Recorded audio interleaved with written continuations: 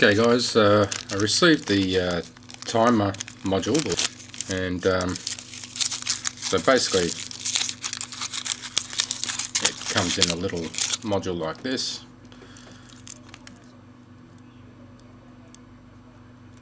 So you just got a PIC processor there, a little buzzer, and jumper and uh, a couple of items on the back there and a connector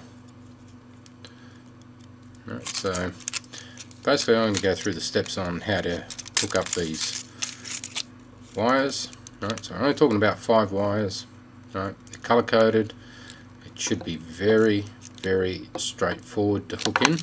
I basically pulled apart the DX7, as you can see there. Okay, one of the first things I'm going to do is I'm going to cover this with a bit of heat shrink uh, because I want to mount it into a spot um, that'll be against another board. So basically what I'm doing is uh, just simply measuring up a bit of heat shrink and cutting it up like so. Place this over the top. So it's ready to be shrunk so I'm just going to shrink that. I'll be right back.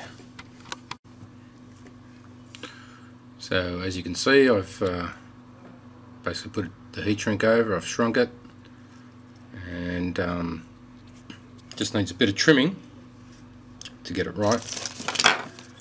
So one of the main things is that you need to uncover this hole here so you have to cut a little slot there and then a little slot around the actual jumper. So basically just made a little hole at the top there and also just cleared the jumper away a little bit so that you can actually get in there pull that jumper out or put it back in whatever the case is whichever setup that you choose to do. So that's it there. Um, as you can see still got uh, quite a bit of room to uh, put in the, the um, connector. Alright and that's pretty much ready to go at the front of the Spektrum you've got a uh, basically a little hole here uh, or a little vent and behind that is already the buzzer of the Spektrum in there. So what I'm going to do is mount this device so that it sits in behind here and I'll show you how I'm going to do that. Right here we've got four screws that we need to undo.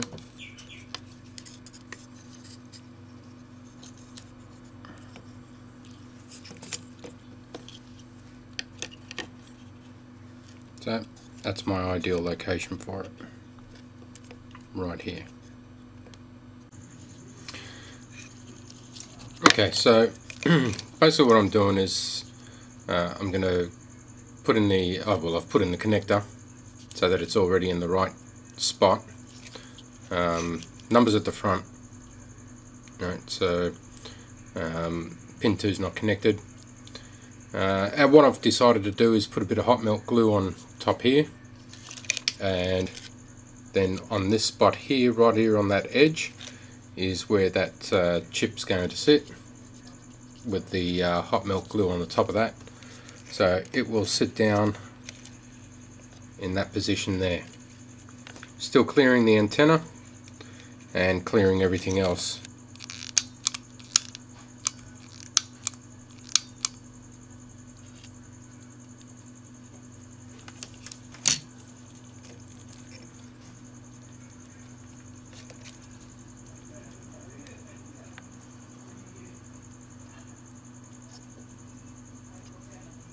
So just basically holding it in position till the hot melt glue sets.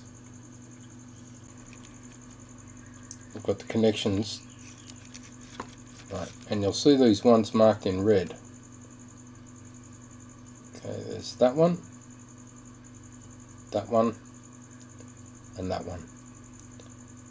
Those are the potentiometer connections, which are here, here, and here.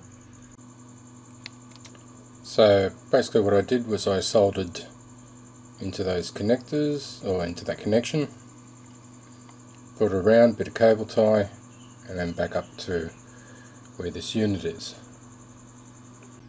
This spot right here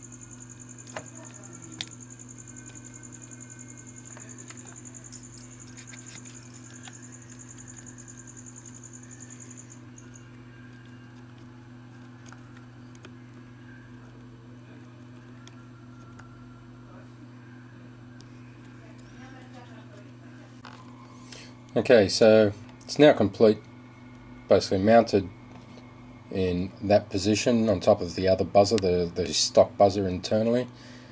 Uh, connector comes off, connects into the appropriate spots there, and then down onto the board itself. So now I'm just going to basically put it back together again. So now when you turn on your transmitter, you'll hear six beeps. Um, those six beeps mean that it's basically active and ready to go to automatically start the countdown. So here's the throttle stick you can just see in the top right, top left hand corner. As soon as you advance it, so notice the counter down here is counting down and if you go back to the off position counter stops. So on off on off. Now if you don't want it to come on you basically just hold your clear button and you'll hear two beeps when it comes on. That means it's off. So now the throttle stick doesn't do anything